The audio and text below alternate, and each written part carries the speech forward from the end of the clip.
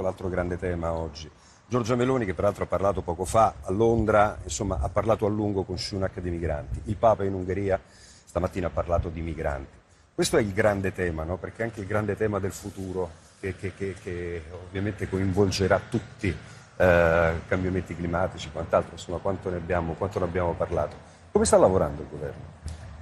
Secondo me sta lavorando molto bene, eh, io ovviamente da Presidente della Prima Commissione sono l'interlocutore parlamentare diretto del Ministro dell'Interno e ovviamente tutti i provvedimenti, i decreti legge che riguardano il caso dell'immigrazione e della sicurezza vertono sulla Prima Commissione Affari Costituzionali, quindi per esempio in queste ore abbiamo licenziato il, in seconda lettura in Commissione, andrà in Aula il 2 maggio il decreto legge cosiddetto Cutalo. Cosa bisogna fare? Bisogna capire che i tempi stanno cambiando, che anche la geopolitica internazionale, ci sono alcuni paesi del Nord Africa, noi siamo soprattutto legati al fenomeno migratorio del cosiddetto Mediterraneo centrale, noi abbiamo la necessità di capire cosa accade nei nostri paesi frontalieri, quelli che si affacciano sul Mediterraneo, africani, per esempio in questi mesi sta accadendo quello che non dovrebbe accadere, cioè che in Tunisia, dopo la crisi libica,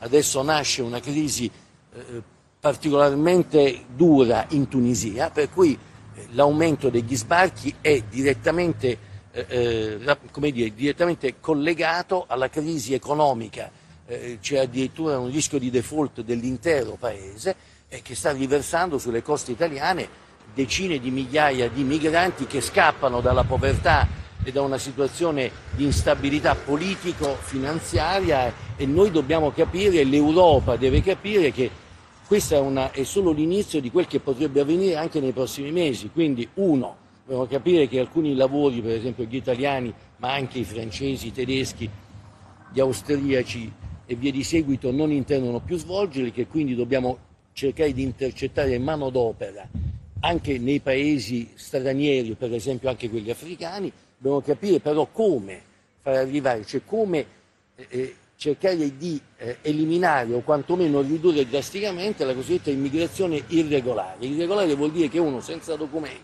senza... Eh, eh se, senza canali, canali, regolari attraverso i quali passerebbero... Non arriva in Italia, eh. ma ci arriva senza documenti con, attraverso il fenomeno gravissimo dei cosiddetti scafisti, che sono dei veri e propri mercanti di uomini, di donne, di bambini e che di fatto sbarcano. Quindi come fare? Bisogna, attraverso questo decreto, per esempio, si è cercato di iniziare ad affrontare nel modo più corretto possibile eh, eh la trasformazione dell'immigrazione irregolare in, in immigrazione regolare, ovviamente gestendo nel modo migliore e non chiudendo i cosiddetti asi, cioè eh, eh le i, i luoghi dove poi queste persone che possono rimanere, chi può rimanere, debbano rimanere nel nostro territorio.